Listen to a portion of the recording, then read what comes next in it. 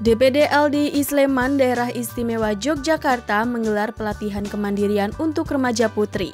Kali ini, peserta diberikan pelatihan keterampilan menjahit. Acara tersebut diselenggarakan pada Jumat 5 Agustus 2022. Para peserta dibekali teknik dasar menjahit, seperti memasang kancing baju, teknik menjahit jelujur, dan menjahit silang. Menurut pengurus bagian pemberdayaan perempuan dan kesejahteraan keluarga atau PPKK DPD LDI Sleman Nurul Baiti, panitia mengangkat tema jahit kain dahulu baru jahit cinta belakangan bertujuan untuk menambah relasi dan mengedukasi remaja putri agar menjadi pribadi yang mandiri.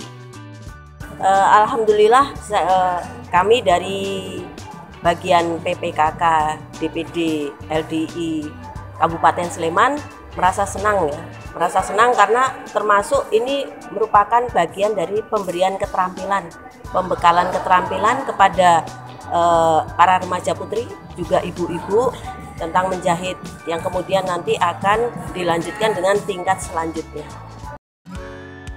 Sementara itu, Umi Salamah, Koordinator Bidang Keputrian Penggerak Pembina Generus atau PPG mengatakan, pelatihan tersebut untuk mengukur kemampuan menjahit para remaja putri.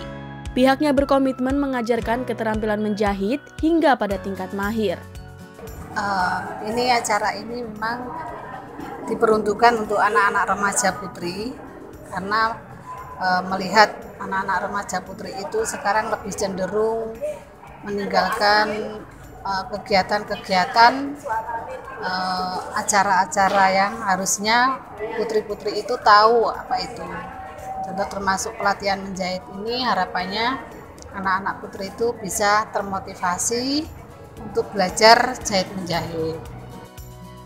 DPD LDI Sleman berharap dengan pelatihan menjahit tersebut, remaja putri dapat menjadi pribadi yang mandiri sebagai bekal untuk meningkatkan pendapatan dan kesejahteraan pada masa depan.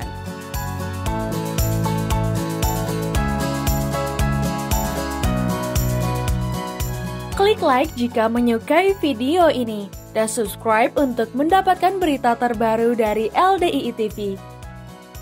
Alhamdulillahi jazakumullahu khairah telah menonton.